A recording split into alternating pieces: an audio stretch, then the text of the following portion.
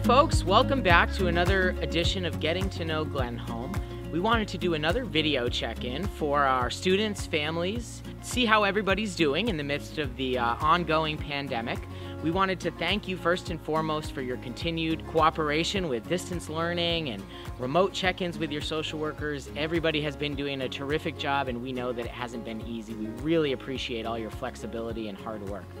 We are thrilled to report that things on campus continue to run smoothly. We are healthy, we are safe, and the staff has been doing a terrific job with some really fun, engaging programming. We've been getting outside, enjoying the spring weather, and doing all sorts of great activities. It's been really lively here on campus.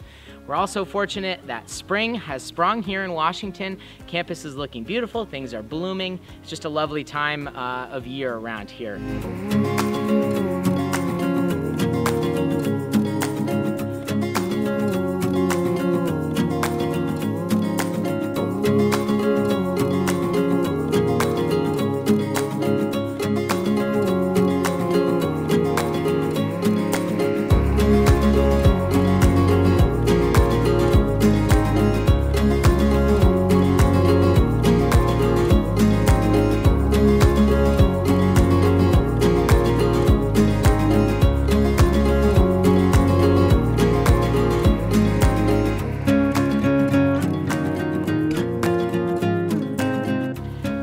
Wanted to also let you know that we are continuing to work on our plans to get back to more normal operation as soon as we possibly can. And we're planning for the summer program starting on July 6th, as well as contingency plans to make sure that we have a memorable graduation ceremony for the class of 2020 who has worked very hard and we want to make sure we get to celebrate that milestone as a community.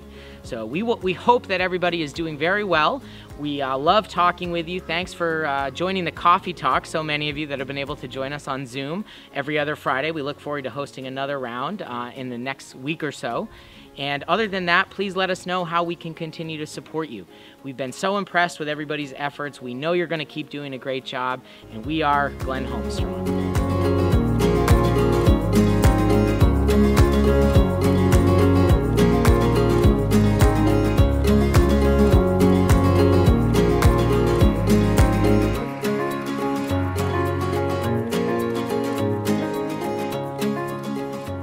Take care, folks, and we'll see you soon. Hope everybody's doing well. Stay safe, be healthy. We'll talk to you soon. Take care, folks.